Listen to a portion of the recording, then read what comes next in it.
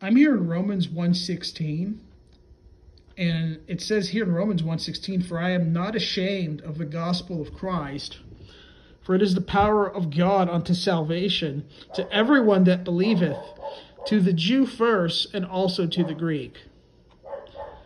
Now you know, right there it says that, you know, the gospel is the power of God unto salvation. Okay. And not only that, it you know, it, it it's available to everyone, you know, th- that believes. Okay. Now, um, I had somebody ask me basically, you know, how do they know whether the, or not they have a reprobate mind and that and, and whether or not they're just too far gone to be saved. Now, let me tell you this, okay? Jesus Christ died for your sins according to the scriptures. Okay? He was buried and rose again on the third day for your justification. Okay? And, you know, he, his arm's not short to where he can't save. Okay? And he said that whosoever believeth in him should not perish, but have eternal life. Now the gospel is good news. And according to Romans 1.16, uh, it says that the gospel of Christ is the power of God unto salvation. Okay? And the gospel is the death, burial, resurrection of Jesus Christ how he died for your sins according to the scriptures. Uh, you know, was buried on and on the third day rose again, according to the scriptures. Now, the scriptures also say that he tasted death for every man, that he died for the ungodly, um, that while we were yet sinners, Christ died for us. Okay. The Bible says that the gospel is, is you know, by which you're saved. And look, just the fact that you're wondering whether or not you're too far gone uh, proves that you're not. Okay. because, you know, you, it, it seems like you want to know how to be saved. Okay.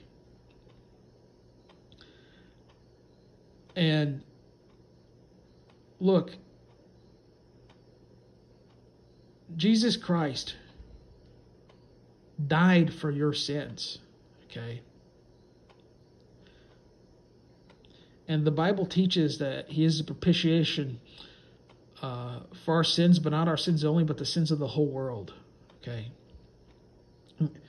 And, you know, it means He's the atonement for your sins, and, and He wanted to pay your sin debt off. Okay? So, whatever bad that you've done in your life. Okay? If you believe on Jesus Christ, uh, your sin debt has been paid for. And look, because Jesus Christ died for everybody, okay, that means you qualify for the free gift of eternal life. And the Bible says in Ephesians 2 8 9, For by grace are you saved through faith, and that not of yourselves, it is the gift of God, not of works, lest any man should boast. Okay, it's a, salvation is a gift, and it's a gift because you know you can't you can't pay for it yourself. You can't earn it. Okay, because the Bible concluded that all human, you know, all that that you know that meant included all men under sin. Okay. And so, you know, we can't use the laws of God in our defense and and you know act like or or, or try you know convince God that we actually keep His law because you know the, the, Bible makes it clear no, no we do not keep His law. Okay, for all have sinned and come short of the glory of God.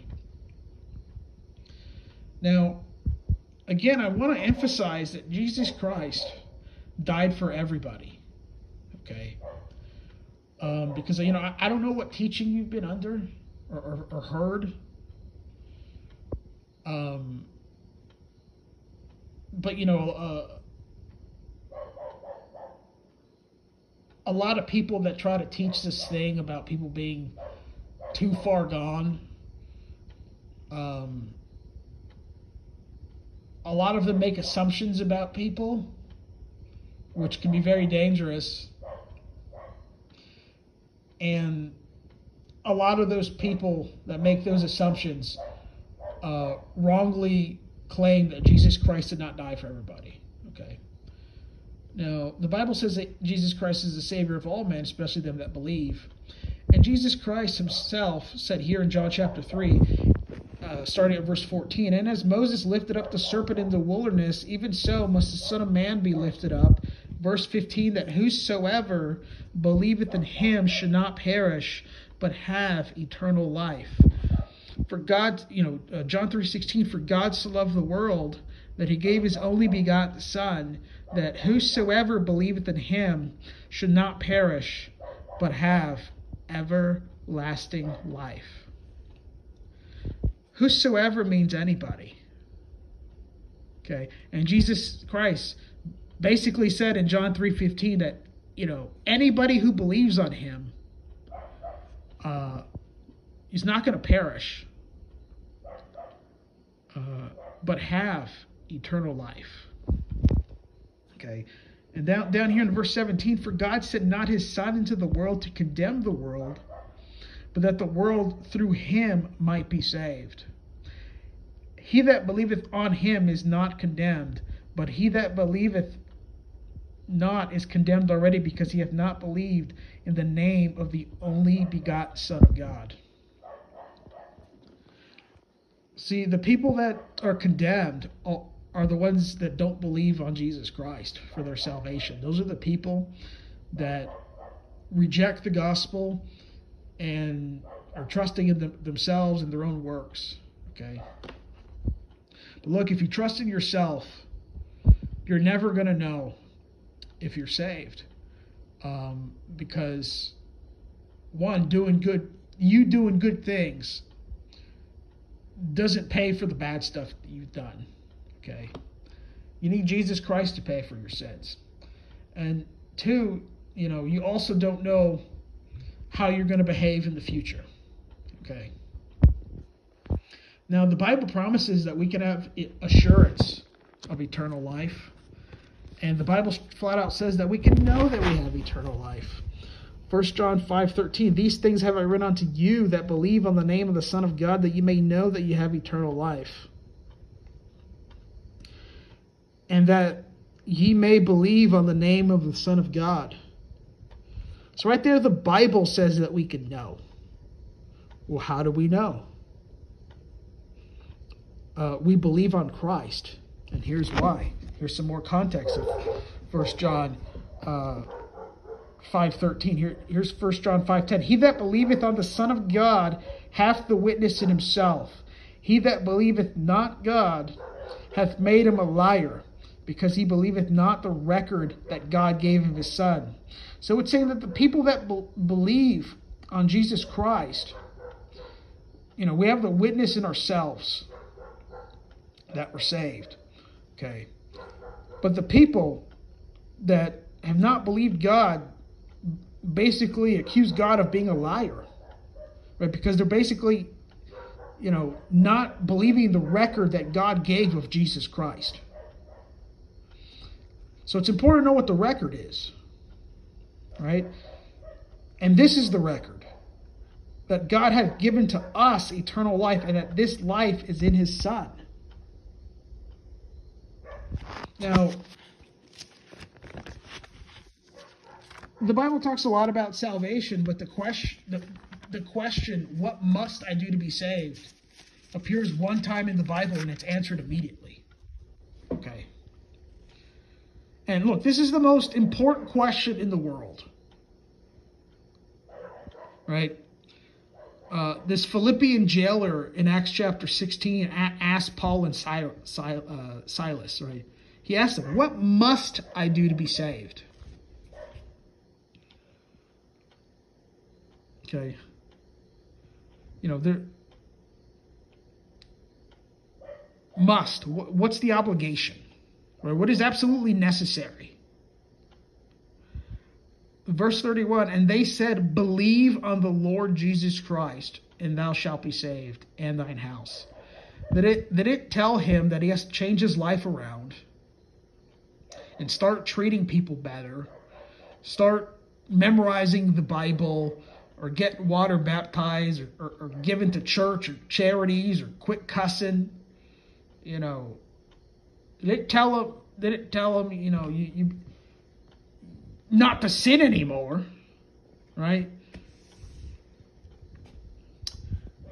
And look, I, I'm not advocating sin. I'm simply telling you that the answer that they gave him is believe on the Lord Jesus Christ and thou shalt be saved. Believe means to trust, okay? So, look, I, I implore you. Um, you know, believe on the Lord Jesus Christ. He really did. Uh, die for your sins. He really does love you. Okay. And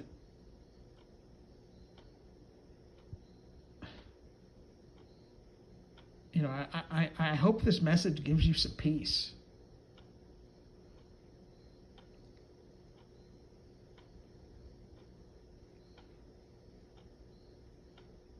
Jesus Christ